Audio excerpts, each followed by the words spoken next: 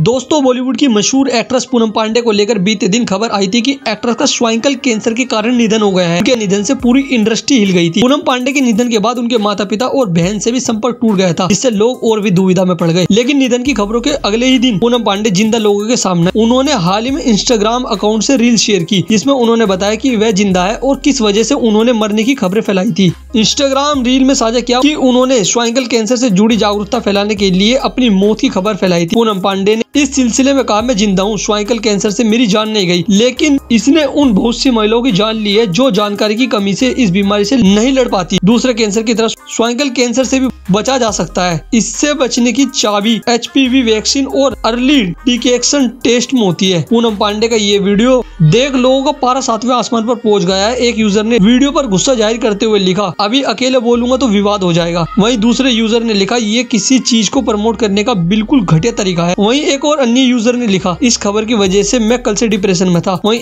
एक अन्य यूज़र ने लिखा और उन पर ताना मारते हुए कहा, अगली बार से लोग तुम्हें गंभीरता से नहीं लेंगे। तुमने अपनी सारा विश्वास खो दिया है। वैसे दोस्तों, आप पूनम पांडे की इस खबर को लेकर क्या कहना चाहेंगे, नीचे कॉमेंट सेक्शन में ज़रूर बताइएगा। और ऐसी ही वीडियो के लिए आप हमारे चैनल को ज़रूर सब्सक्राइब कीजिएगा। धन्यवाद।